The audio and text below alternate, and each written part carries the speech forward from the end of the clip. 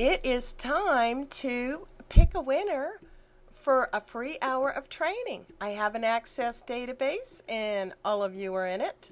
I'm going to open up my random picker form and I'll just scoot the screen up a little bit so that you can see the whole form. These are all my subscribers. Thank you very much. The first two are eligible because they've already won. So now let me click on the pick a winner command button and congratulations! The winner is RFT0415. You get a free hour of private training. Email me to set it up. It doesn't matter if you're not in the United States because we can use Skype to talk to each other as long as you speak English.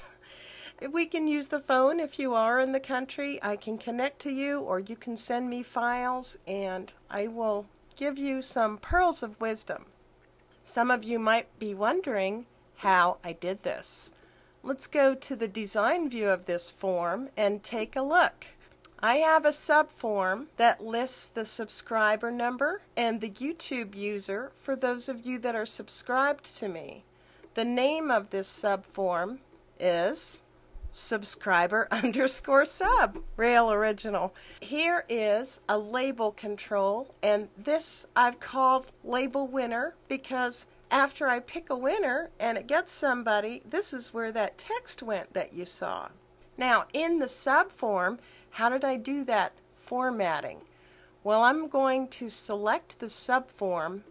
I'm going to click on the YouTube user and look at the conditional formatting that's set up. If not is null date 1, that means it's filled out, the background is a light green color if the subscriber number equals subscriber number, which is this hidden control down here, the reason I made the form footer black is because I like to make things black background when I hide them.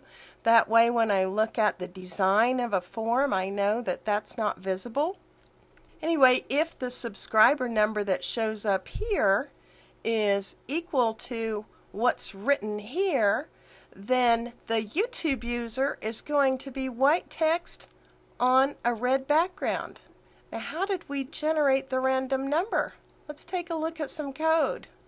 The name of our command button is CMD Pick Winner. We are putting code on the click event. So when someone clicks on the button, this is the code that runs. The lines that are green are comments. Anything that is prefaced with a single quote mark is going to have the rest of whatever is on that line ignored. The first thing we want to do is dimension a variable to hold our random number. It's going to be an integer. We will just call it int subscriber number. Now we need to set the seed for the random number generator. We will do that with a command called randomize. And we want to generate a number between 3 and 21. Now 21 minus 3 is 18. RND is actually what generates a random number. It generates it as a fraction, something between 0 and 1. That's why we multiply by 18 and then add 3. Now that we have our random number, we need to find out who it goes to. So we are going to write int subscriber number, the random number that we just generated, to that hidden control subscriber number on the subform with me.subscriber underscore sub dot form means we are going to use the subform that's on me. Me is the form that this code is behind. Now we are going to find the record that matches that subscriber number. We're going to use the record set clone and then to find first action, give it a condition. We move to that record by setting the bookmark of the subform to the bookmark of the record set clone, which is what we just searched on. And now we will write a caption to the winner label. Congratulations! And then two lines, VBCRLF is a constant. Visual Basic Carriage Return Line Feed. Remember typewriters? For those of you that ever used one, carriage return was when that big rolling thing moved back over to the left, and line feed was when the paper moved down, and we've still hung on to that term.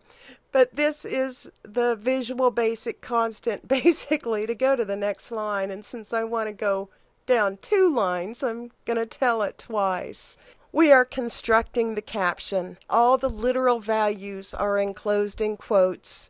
Then we're concatenating in the user YouTube from the subform, from the record that we found. When we get to coding, I will describe things in more detail. This isn't really where I intended to start you with code, but since uh, some of you that are watching this already use VBA, and I thought you might like to know the code that went into the random number generator.